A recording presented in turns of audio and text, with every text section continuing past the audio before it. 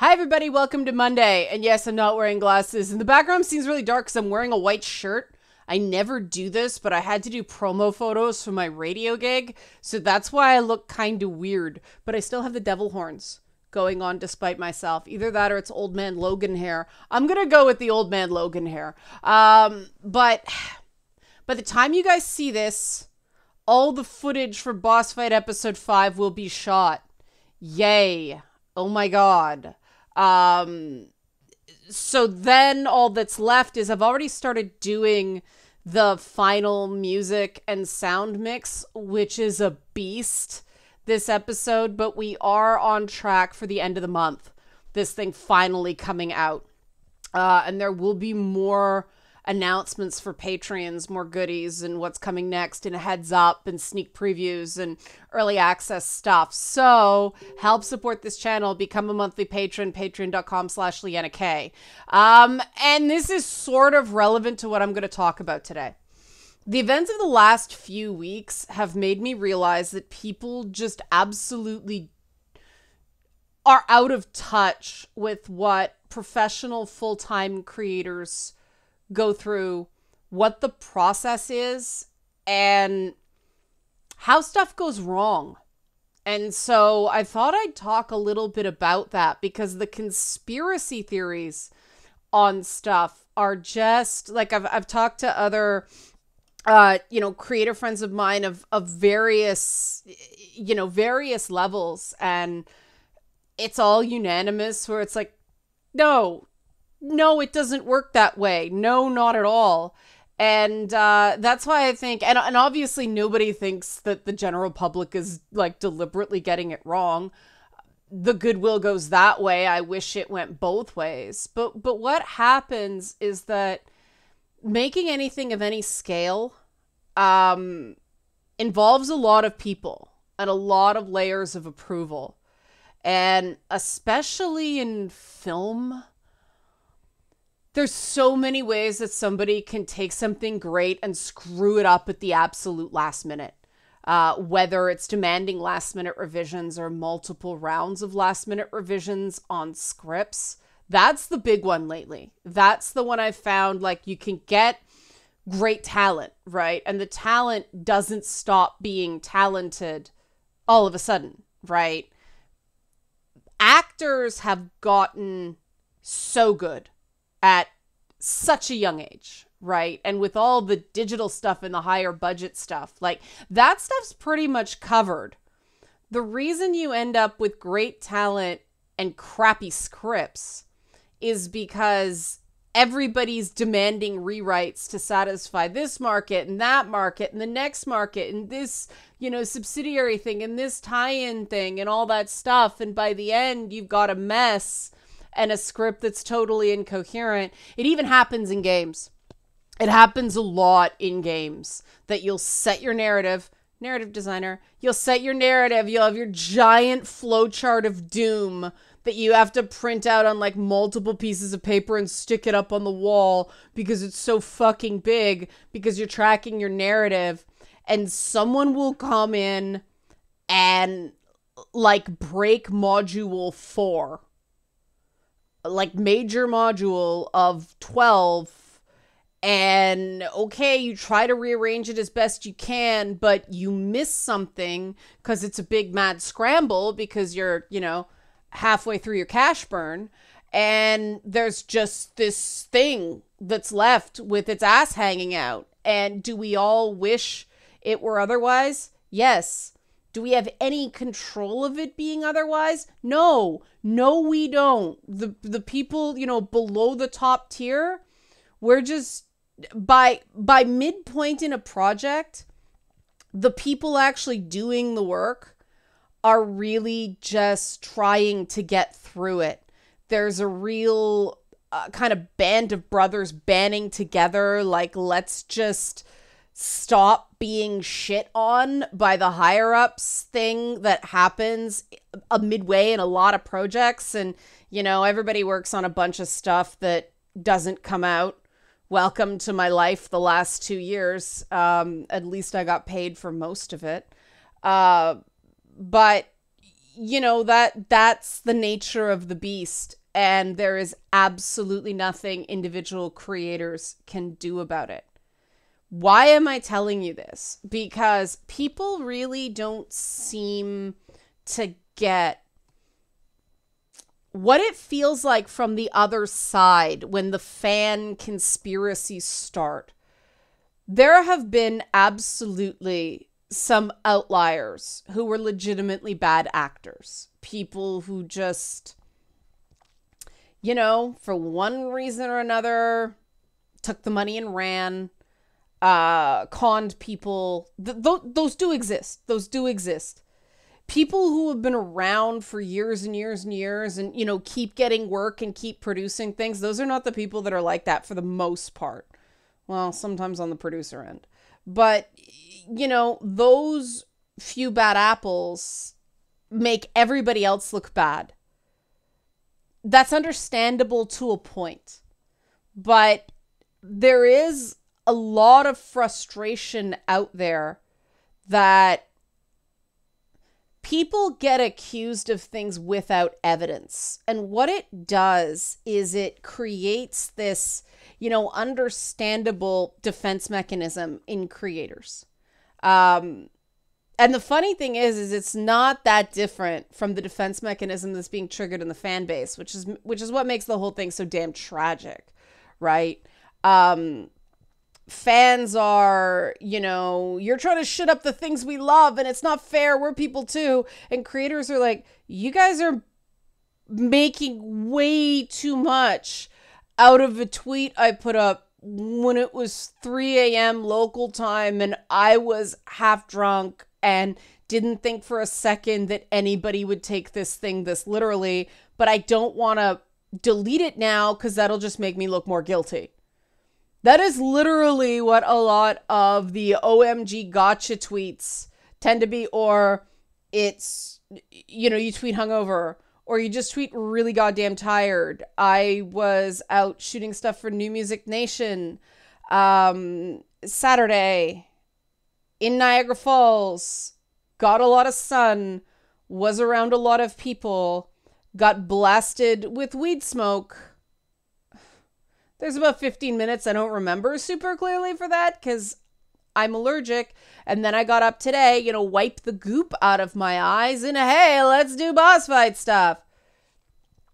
You get tired, you get punchy, you get my forehead's a little bit burned, my nose is a little bit burned, like, and the fact that it's only a little bit, bless, right? But you're human. And people cannot suppress the urge to be cheeky or snarky or heaven forbid in poor taste constantly. And especially creative people who, let's face it, we wouldn't get into this line of work if we weren't somewhat interested in communicating something that matters to us. Um, I, my mother put me in performing because I was a super duper shy kid. Uh, no one believes it anymore. Um, but I was a really shy kid. Um, you know, all through up until oh god.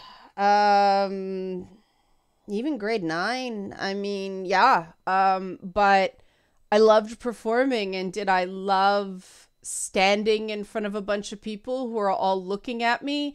Oh God, no. I went high production values at my own wedding. I stuffed 11 kids in my wedding party because I didn't want people looking at me. That's people were like, "You're crazy for having 11 kids." Like, no, no, no, they're cute. You're cute. I made custom teddy bears for all of them. You're cute. They walked down the aisle with these teddy bears, and they were the little like, like they they were dressed up like you know, informal wear too. And it's like, look at all that, look at all that, look at this, and look at that, and look at the pretty sky, and look at the pretty canopy, and all that stuff. Don't look at me. Okay, the giant white dress you can look at, but like, just, just don't look at me. Veil. Good. Ah, don't fall.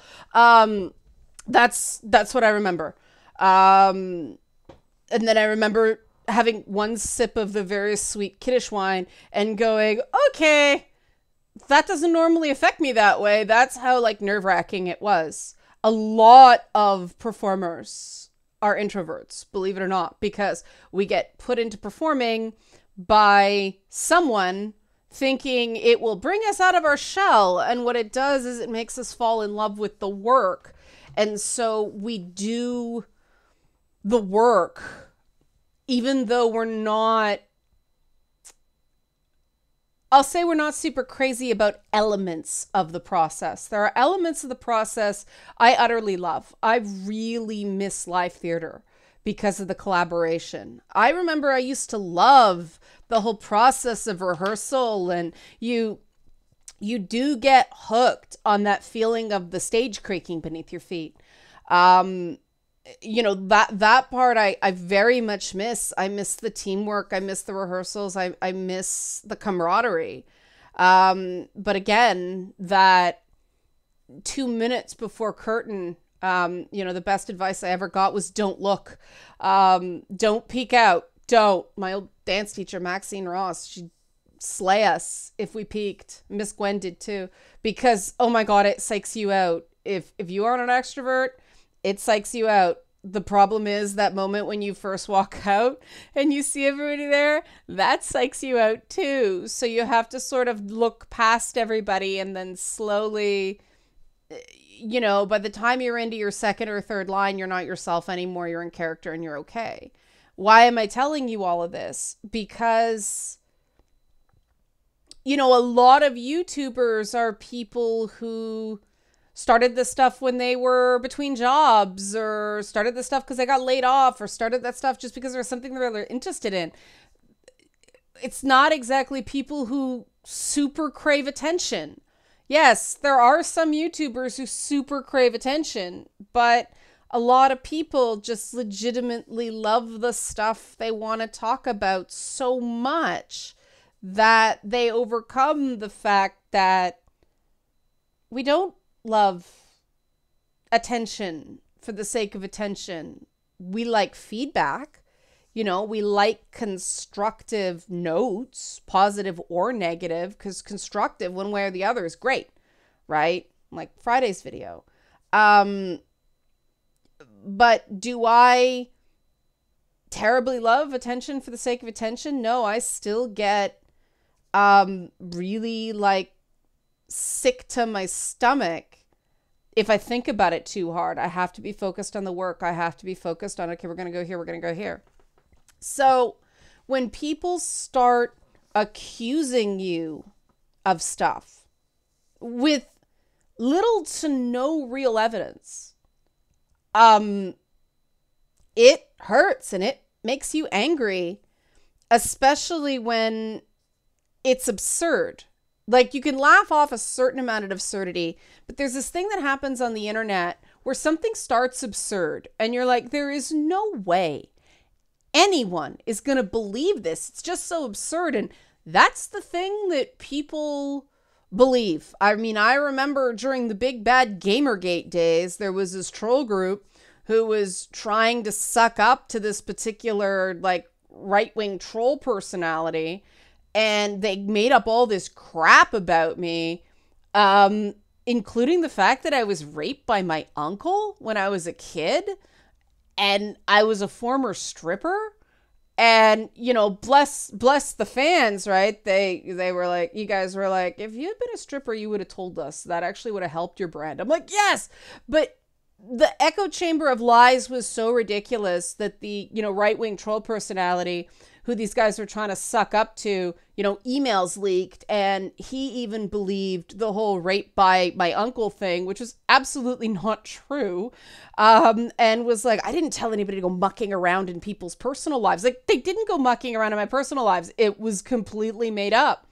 But people believe the most absurd shit and then it's just out there. I mean, Lizzo and Cardi B just put out a song called Rumors about all this nonsense.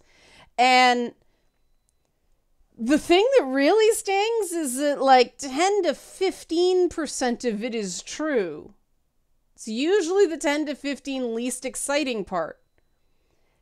And you got to understand that when people are just making shit up about you, it becomes increasingly difficult to legitimately be able to listen to feedback from the same pockets of people, not the individuals, but the same pockets of people that are making up this crap. And the reason I say pockets of people, because let's face it, on the internet, people use pseudonyms, you know, and unless you actually like get on a Zoom call with somebody or, or eh, you know, have talked to somebody for a really, really long time and, you know, establish trust, you don't know who these people are. And like it can be a commenter for a really, really long time. You still don't know who they are. Um, you don't know what they're going through. You don't know how to contextualize the criticism or the praise. And um you know, I had a point last week where people were telling me I didn't know how to do a Hadoken. I just didn't like Metroidvania games, even though one of my favorite modern games of all time is Guacamelee, and I streamed all of Hollow Knight.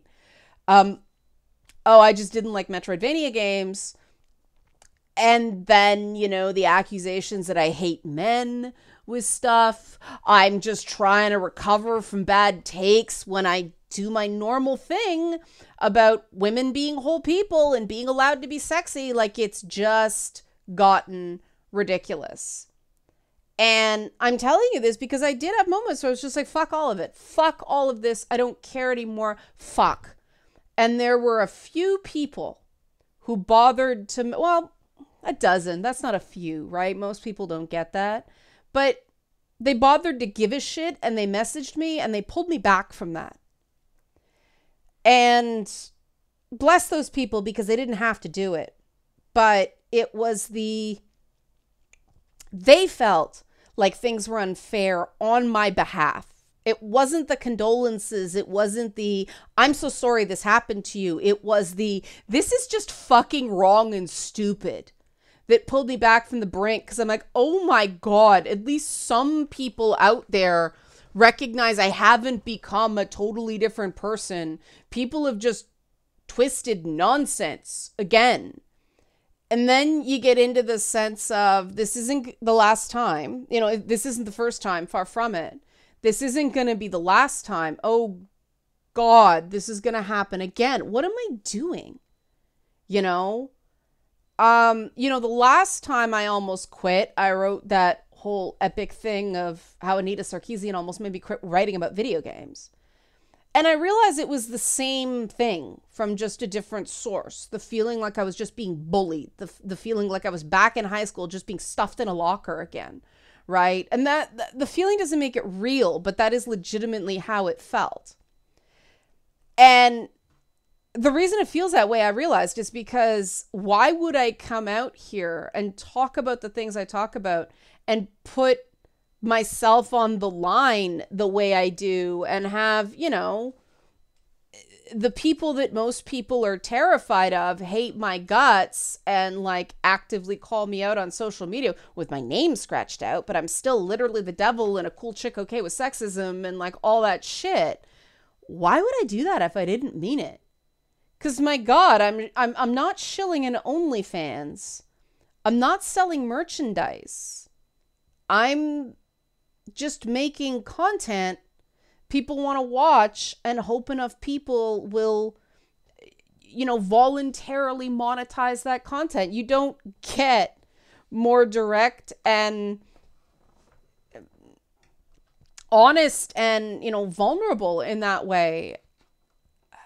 And i i could do the shill stuff but i don't want to you know which is why i don't understand why people suddenly make this stuff up about me and I was told, well, people make, you know, by somebody I talked to, like, well, people do this to everybody. And I'm like, yeah, but why? And I was reminded it's because to a lot of people, we're not human, we're characters.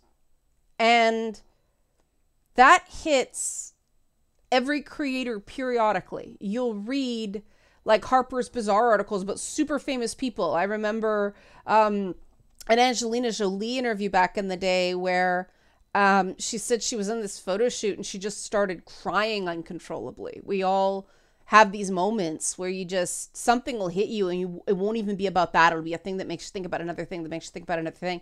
And you just feel so depersonalized and it just wrecks you. And you have to crawl back out from that. And that's not things that people who are in it just for grift or people who are in it just for money feel. That's that's somebody who legitimately wants to make stuff that makes people more informed or you know happier or distracted or or whatever. Just something that makes people's lives a little less shitty right? Makes people's lives a little bit better. That is what the majority of of creative professionals and content creators want doing it for the money is what's left when the business strips that away from you. And and this is where I'm I'm gonna go. People do hit that point after a while. It's ah, it's just a paycheck. You know, older actors who do shitty movies just for the paycheck, or younger actors who just do movies because hey, it's twenty million dollars. I don't care how bad it is.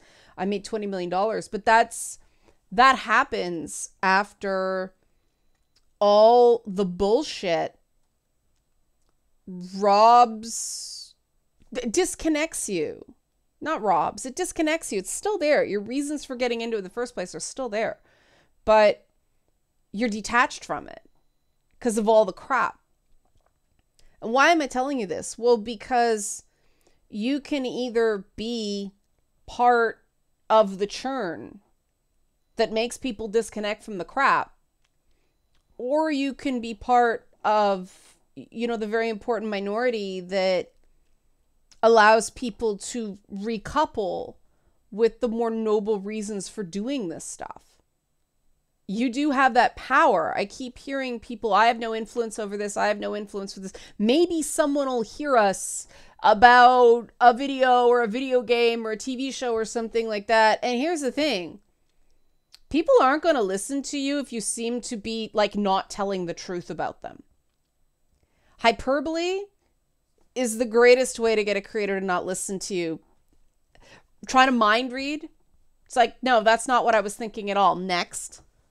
Because we just can't. We can't. We can't listen to people who think we're someone we're not because how is that helpful? Right?